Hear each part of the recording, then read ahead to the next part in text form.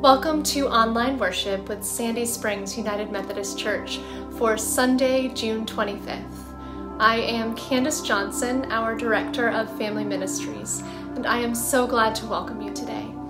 This summer, some of our in-person worship services are not available to be live streamed, so we are excited to revisit our Faith Flows series in online worship. This is a series that dives into the practices that form us as disciples. Practices including worship, connect, grow, serve, share, and give. I have a few announcements before worship begins. Next Sunday, July 2nd, those who join us in person can enjoy a Supper Sunday, which means a potluck love feast. So if you're going to be here in person, bring one of your favorite 4th of July foods to share as we enjoy a time of scripture, singing, praying, reflecting, and gathering around God's table together. We are also hosting a blood drive on July 3rd in the Fellowship Hall. There is a link on our website to register to donate blood if you're able to do that. There's also still space available in our Children's Worship Arts Camp coming up in July 10th through 14th. You can email me or check out our website for more information. Now, as we turn our hearts and minds to worshiping God together today, know that whoever you are, wherever you find yourself on your faith journey, you are a beloved child of God, and we are so glad that you are here.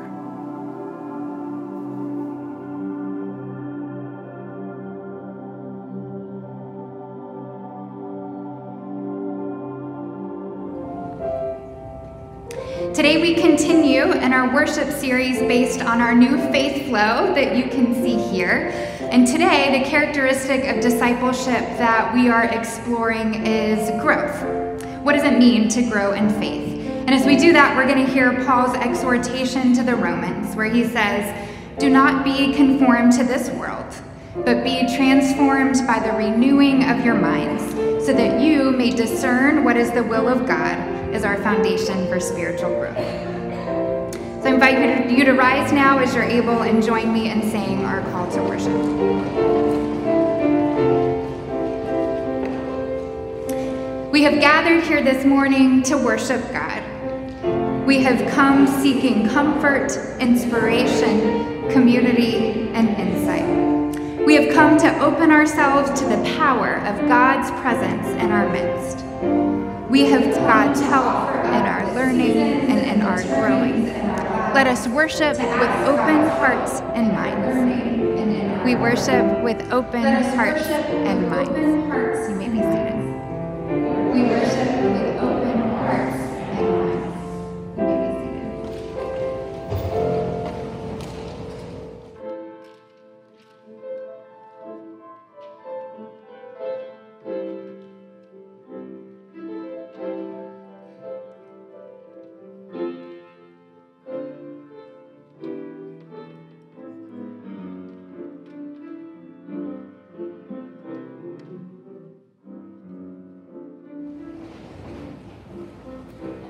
Our scripture this morning comes from Romans chapter 12. Listen for the word of God. I appeal to you, therefore, brothers and sisters, by the mercies of God, to present your bodies as a living sacrifice, holy and acceptable to God, which is your spiritual worship. Do not be conformed to this world but be transformed by the renewing of your minds, so that you may discern what is the will of God, what is good and acceptable and perfect. This is the word of God for us, the people of God.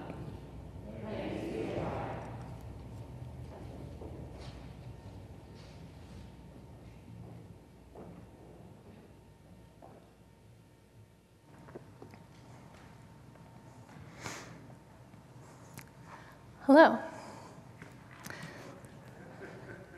Please join me in a quick moment of prayer. May the words of my mouth, the meditations of all of our hearts, be acceptable to you, our rock and our Redeemer. Amen. Do not be conformed to this world, but be transformed by the renewing of your minds so that you may discern what is the will of God. This verse, I believe, is at the core of Grow, this area of our faith flow that we're focusing on in worship today. And while, as the director of family ministries, focused on faith formation and a Christian educator, I might be a little biased. It's one of my favorite areas. I am pretty excited about it. Faith Flow is our discipleship pathway, guidelines for how we, as a community of faith and individuals within that community, figure out what discipleship is, where we are on that discipleship journey, and how to engage in ministry together to keep on growing in discipleship. So that grow and discipleship keeps popping up no matter what area we're talking about. But this area under Faith Flow, under Grow, focuses on learning Christian education, spiritual disciplines. And today's scripture comes from the book of Romans in the New Testament. But really, we could have looked at a lot of scripture to talk about how we grow in faith.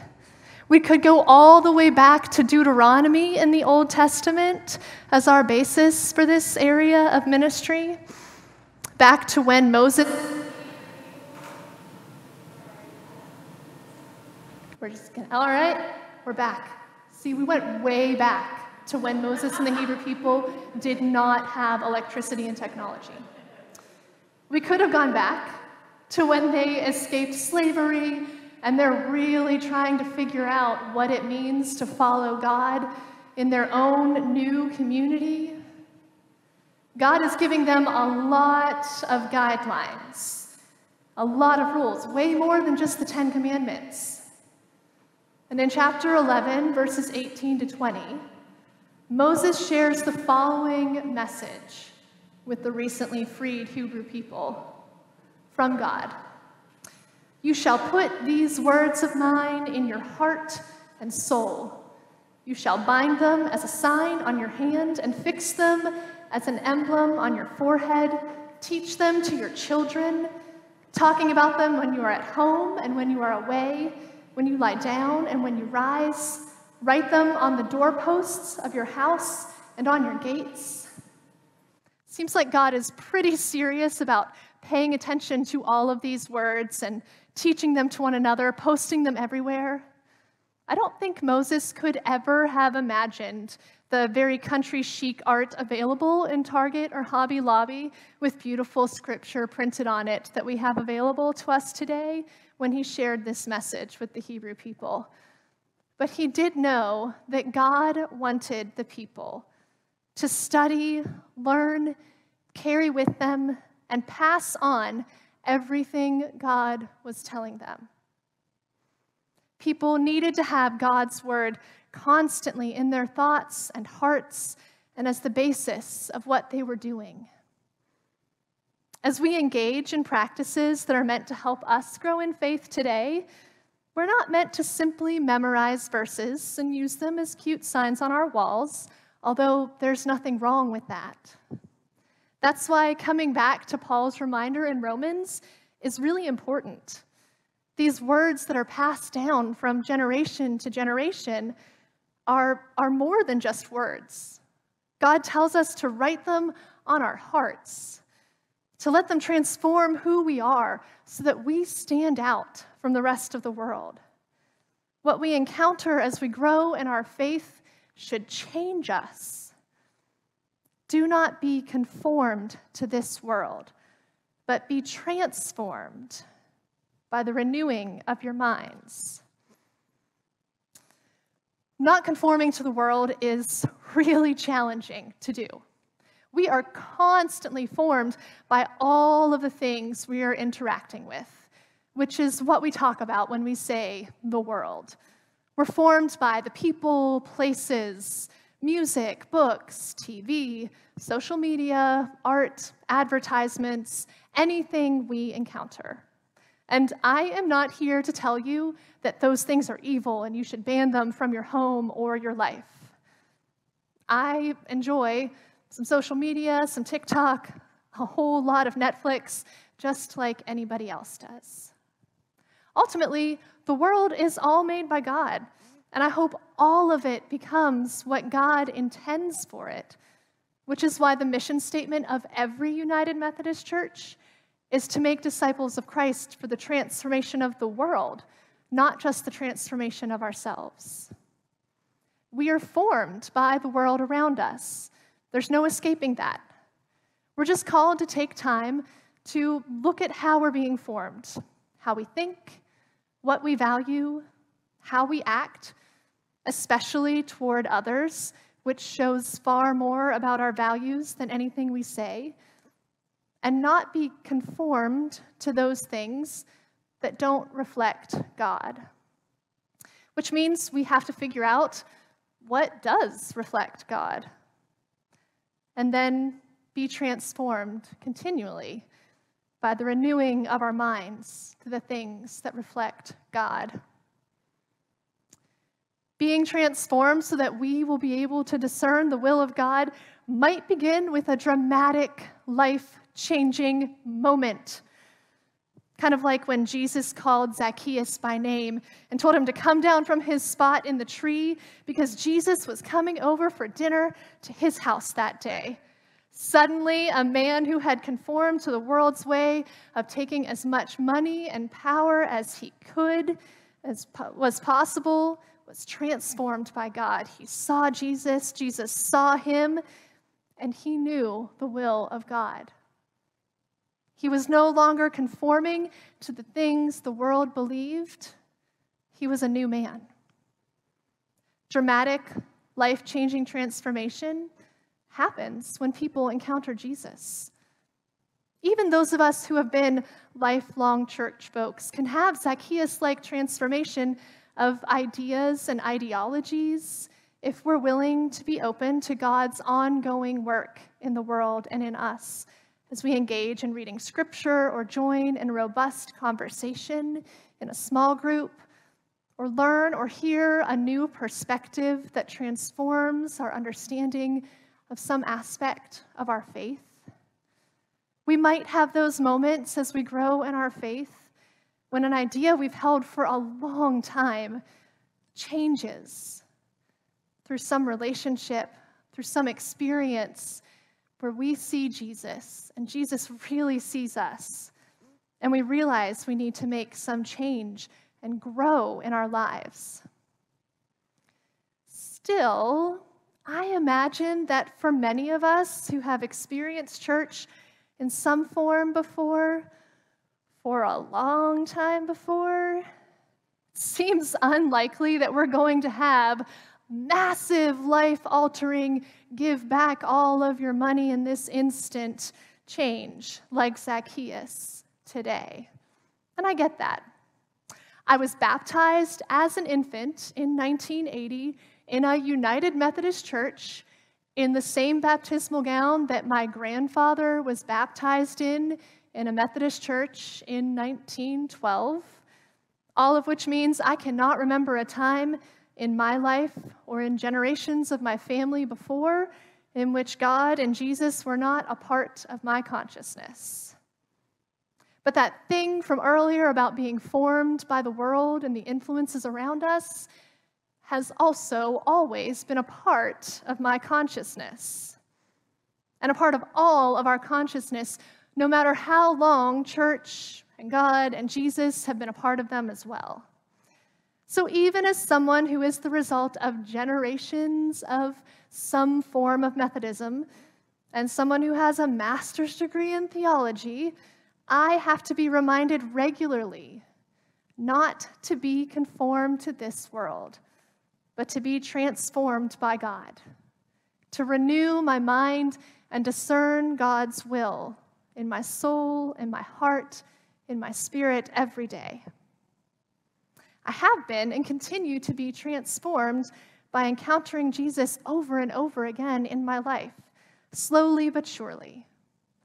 In Sunday school classes growing up, in my lovely Methodist church, in youth group as a teenager, in Bible studies, in devotional reading and journaling, listening to podcasts, having discussions in our racial justice reading group, listening to the insight of children and youth in this congregation as we engage scripture together, in our sistering circle conversations.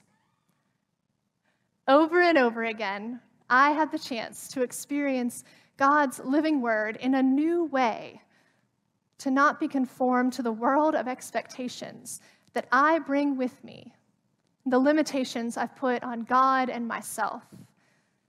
Instead, to be transformed, to discern the will of God, to grow. It's a lifelong process for each and every one of us. Because even if we have that dramatic, life changing Zacchaeus moment, we're not done. We continue to grow after that. As a good United Methodist, I've heard John Wesley say, we go on to perfection throughout our whole lives, no matter what heartwarming moment we have. And honestly, I find it relieving to have an area in life in which there's no pressure to have everything perfect today because there is no area of my life in which anything is perfect today. We are all growing, maybe at different speeds, maybe in different areas of our faith or different aspects we're interested in. So we all have different ways in which we will grow. There are lots of different ways that God reaches out to us to help us grow in our faith. It may be that Jesus has taught us a lot of different ways that Jesus has done that before. We have a lot of examples in the Gospels. Jesus taught with stories in parables. Jesus taught with cute phrases like the Beatitudes. Jesus had small group conversations with just a few disciples. Jesus gave large hillside lectures. Jesus had small meals with people. Jesus taught through prayer. Jesus taught through dramatic events like walking on water. Jesus used examples from nature and everyday life. Jesus even used object lessons like a cursed fig tree, all different ways to reach out and help transform the disciples and others. We too will grow through many different ways. It might be traditional Bible studies and classes, it might be small groups, personal devotion, book groups, even activities like baking bread together. Activities that help us reflect on our faith in a new way. Or maybe watching a movie with your family and afterwards asking, How did I see God at work in that story? when we're willing to grow in our faith, no matter what age we are, how many Bible studies we've been a part of, or if this is something entirely new to us, how many times we've read the Bible, or if it's something that fully intimidates us, how long we've been a part of the church. When we're willing to come to the body of Christ, God's living word, open to the possibility that our minds and hearts and souls can be renewed and transformed, amazing things can and will happen. We offer each other an amazing gift, being willing to grow together, to reflect on our lives and say, There's something for me to learn here with you about what God is doing in the world what God is doing through me. We offer each other the gift of understanding together how we understand the world, how we know God, and opening up to new perspectives to be renewed for transformation together.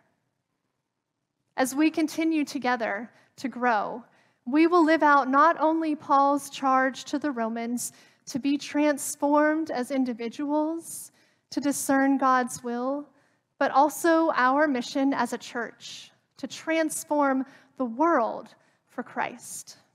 So, let's jump into our faith flow together and grow.